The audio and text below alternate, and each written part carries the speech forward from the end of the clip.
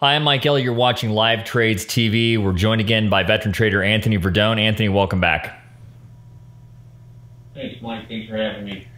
Uh, so we're really going to talk about our featured stock of the week this week, which is Vuzix, ticker VUZI. They're a leading supplier of smart glasses, augmented reality technologies, and products for the consumer and enterprise markets. And we interviewed their CEO again.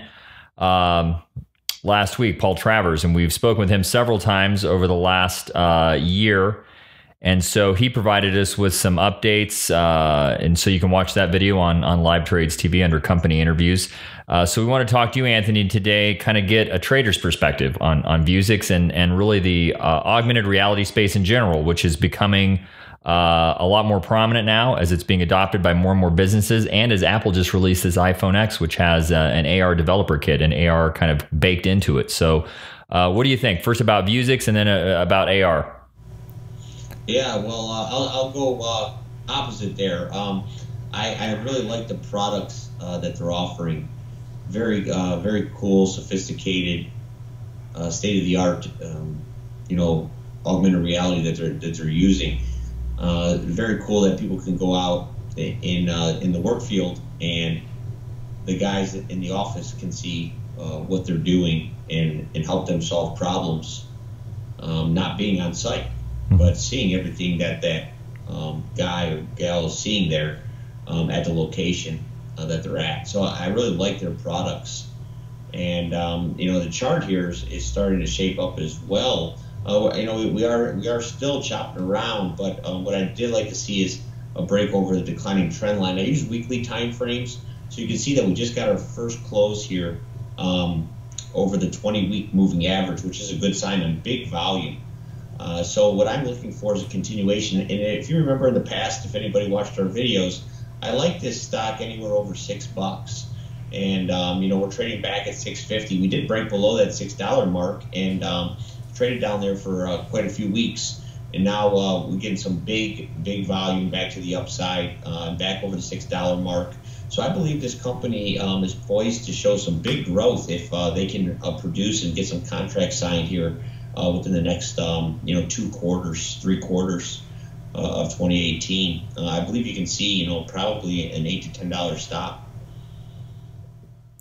and they're going to be demoing their uh, Blade, which is their consumer AR product, and that won several awards at uh, the Consumer Electronics Show for CES. So they've got that, and they also have been converting more of these um, M300 pilot projects into um, actual customers. So they have mentioned uh, 25,000 M300 units for 2018.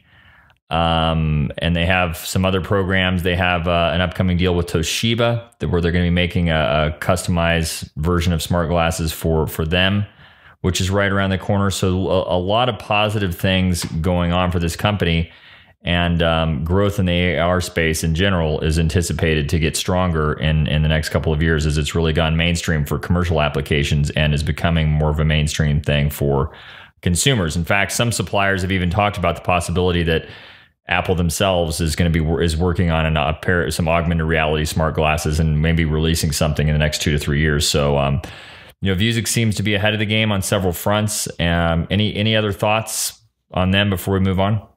No, I, I remember um, back when we were uh, talking to Paul uh, before. Uh, you know, they had a lot of partnerships going on, which which is a good sign. You know, that there's different people trying out their products and the products are state of the art, uh, whether you're using it for recreation or you're using it for business.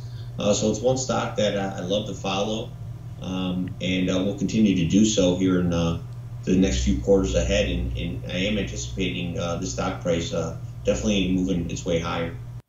And just in as uh, in closing on on Vuzix, I just want to mention Goldman Sachs did uh, project that annual revenue in the global VR AR market will hit 80 billion by 2025. And then uh, another report from Juniper Research said that by 2021, one out of every 10 wearable devices will be smart glasses, and revenue from these products is forecast to increase from 327 million dollars this year to around 9 billion in 2021, which is a huge jump. So um, that's something you know to, to keep an eye on are, are you know some of these up and coming companies whose technology and, and Vuzix also has a lot of uh, IP. They just announced their patent growth had, it was like something like 53% over the last year. Um, they've got over well, what's what's the exact number here?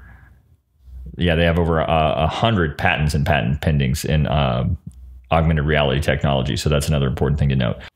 All right, Anthony. Well, that's it for uh, this week's day, this week's pick. Vuzix ticker VUZI. You can learn more about them by visiting their website at www.vuzix.com. Uh, Anthony, thanks for your insights as always, and uh, we'll talk to you next time. Sounds good, Mike. Thanks, and thanks everyone for watching Live Trades TV.